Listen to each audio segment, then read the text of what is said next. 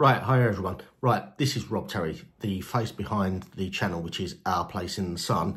And I've come on to do this video because I think it's quite important actually, because there's a lot of misconception going on. Now, obviously we've just got back from Spain. We've been back for a couple of days now. And whilst we was out there at the back end of October, beginning of November, there were some really serious weather conditions up in Valencia and other areas, but mainly focused in Valencia.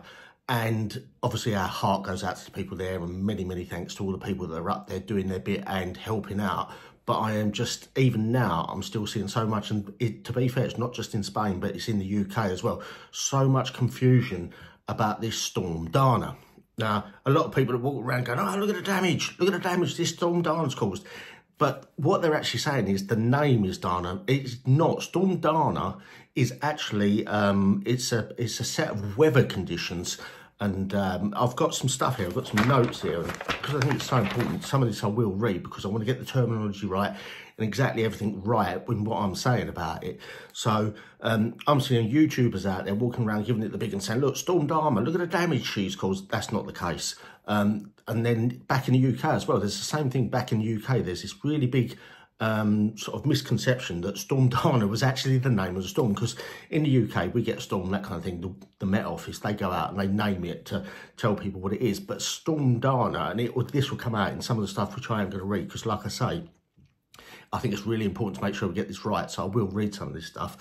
Um, to make sure that people are getting exactly the correct information rather than a lot of the stuff which is being all just spouted about that is not correct. So some of it can read, some of it we'll talk about and that kind of thing, but hopefully it'll give you guys a little bit more of an idea of what a storm dana is. Like I say, um, it'll come out when I start talking about it, um, but in Spain, um, there was a disruptive weather system, which is basically when the cold air meets and warm air meet together and produce powerful rain clouds and a, and a pattern this is where you realise that I can't read and I'm really bad, but never mind. A pattern believed to be growing more frequently due to climate change. The phenomenon known locally as a Dana, so it's a weather phenomenon, guys. It's not the name of the storm, it's a weather phenomenon, is a Spanish acronym for high altitude isolated depression. And unlike other common forms of storm or squalls, it can be formed independently from polar or subtropical jets. So um, it's, it's actually a weather pattern that can form by itself.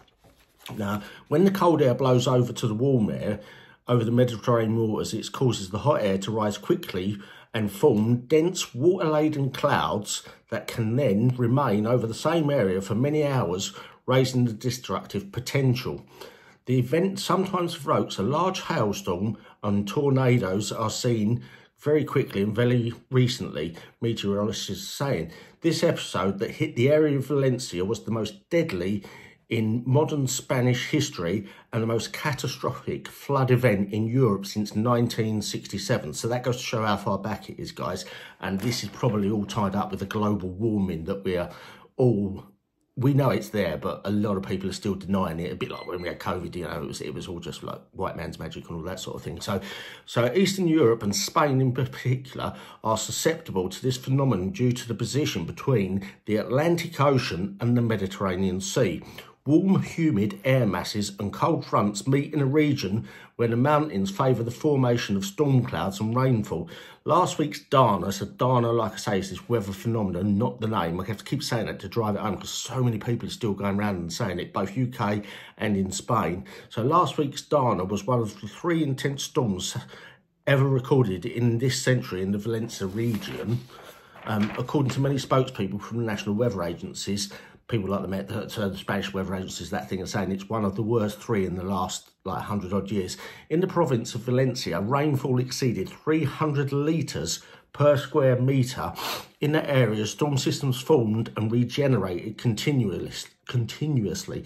Meteorologists said that a year's worth of rain had fallen in eight hours in parts of that Valencia region on the 29th. So you can imagine the amount of that. Now, we've all seen the big storm drains and things like that out there, but uh, like 300 litres per square metre of water. You imagine what that is. So a metre squared of square water, so a metre cubed would be sort of 300 mil high by a metre by a metre. So that is a phenomenal, that's a foot of water falling over a metre square.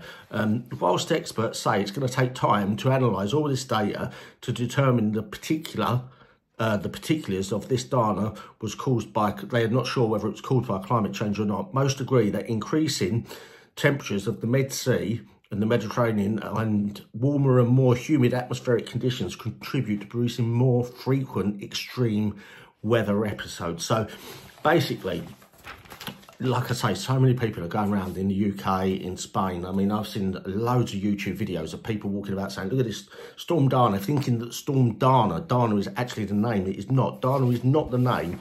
Dana is a weather phenomenon, which is basically where the, the high altitude isolation depression and all of those sort of things. So it's an acronym of that. So make sure you're talking about it in right. So I got all this information off of the, the National Weather Agency, which is on there. That's where it comes from tells us about it. So I know that information is absolutely bang on and correct, Kurt.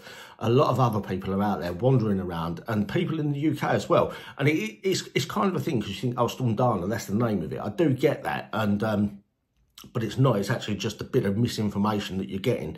And you you know we're we're then, when you're doing it and passing it on that's feeding it on to other people. So it's not correct. And obviously um, the, the the clear up up in Valencia is going to go on for ages there's been motorways washed away there's been all sorts of damage underground car parks. I mean it just goes to show never park in the underground car parks. The spain love the underground car parks but from now on i seriously whenever we're out there we won't be looking at getting into an underground car park for exactly that reason because as soon as you're in there you get four metre high water coming towards you, you ain't getting out from underneath it. So, um, so obviously massive thoughts out and well done to the Valencian uh, people that are actually there. I mean, so many thousands of people have turned up.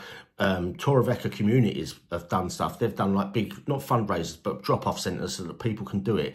So rather than actually trying to go up there and help out, you just go to the place and you drop the stuff off um, and then they get it up there because what they don't want is you getting stuck, you causing problems when they're trying to sort the people out that are up there. So obviously there's a massive amount of work going on. We've seen other videos of people where they've been dropping stuff off at the donation centres, that kind of thing. Fantastic work, guys. Keep all of that up and try everybody else try and cut down a bit on the misinformation that's being passed around because I am seeing people, and there's people with like 10,000 followers plus um, walking around giving it the big and saying about this storm Dana, look at the damage she's caused and that sort of thing. And like I say, the same back in the UK, talking to a couple of guys in the office and they're thinking Storm Dana is actually the name of the storm. Um, they don't know any better. You like they say, you don't know what you don't know. So hopefully this video will go through a bit more to clarify and help people understand what it is. So please like, subscribe, hit the notification bell, all of those kind of things if you're still listening to me ramble. Obviously, I think about only 95% of the people that watch these videos are not subscribers. They're completely new and they never do subscribe. So please do subscribe, guys. It does not cost you a penny. It's totally free. It's really simple to do.